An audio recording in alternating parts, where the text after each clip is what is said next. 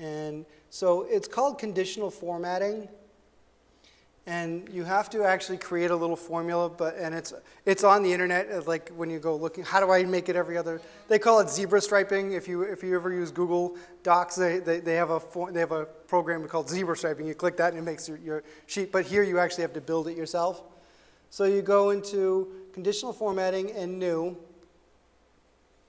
and we are going to use a formula. And what this is going to do is it's going to do division. It's going to figure out what row number it's on, and it's going to divide and see if there's a remainder or not. So I'm going to divide it by 2. If there's a remainder, I'm going to have it uh, turn to a color. If there's not a remainder, I'm, it's going to stay white. It's basically what happens. And so it's equals, I got to think, uh, mod row comma 2 parentheses equals 0. So what this says is mod, this is the, the short for modulo, which is basically remainder when we do division. Um, we're going to take the row number, and so it has just open and close parentheses. So it's going to look and find out what row number it's in.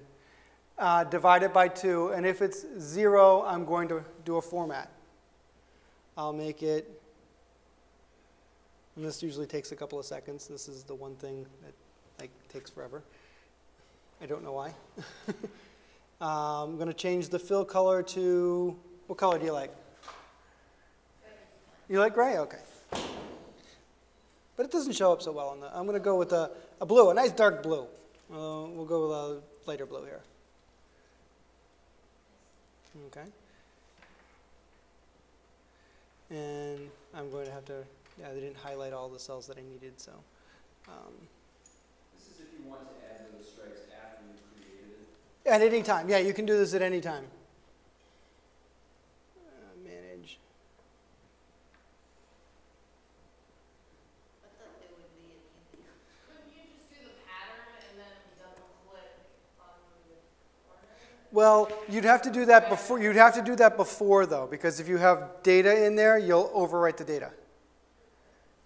So, what this has done is it said, "Okay, you can do this is for when you, for afterwards, really. Like if you go, oh, gee, I want to have this." And the other thing is, because usually it has you have stuff that you want to do, you know, near the end. You want to keep dragging it down through, and so you can then just go in and change the conditional formatting. But, I mean, I can send you this. I'll send you this this formula to put it in there, so you can do that at any time when you want to do so. But it's just really going to conditional formatting, highlighting highlight the, the cells that you want the, to be formatted.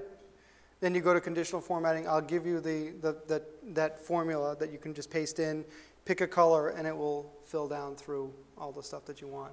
And so now when I type over it, you know, it doesn't, it's already been affected. It doesn't have any, it doesn't notice that anything's going in there because it's looking at the rows. The other thing that happens when you do the, the filling down, if you insert a row, you then have to do it all over again. Whereas here, if I insert a row, it does it automatically.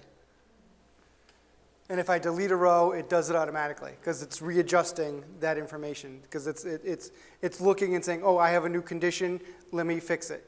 And so that's the nice thing about this is that it will, will take care of that piece instantly as opposed to if I have, you know, highlighted before and after and I insert something, it usually either comes out all yellow. If I make things yellow, it'll come out yellow or it'll come out white depending on what it was below.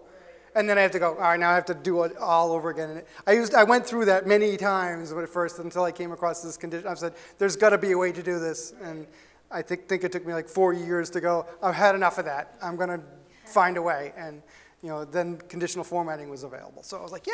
It would almost be worth just saving, creating ones and saving a blank template. Oh, definitely. It's always, that, that's always a, a great thing to have. And then you could say, just use this whenever you start, you know, and, you know, and you can then again change how wide it has to be and how long it has to be. You know, it's like, you know, we usually assume things are going to be, you know, 10 rows wide, you know, but, you know, maybe our papers, you know, change as we go along.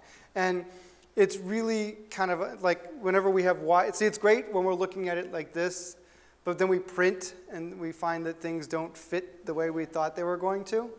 Um, I know that's usually, I mean, it never happens, right? We never have to print anything out. We're a digital, this is digital, this paperless. Don't we all know that we've been paperless since 1998?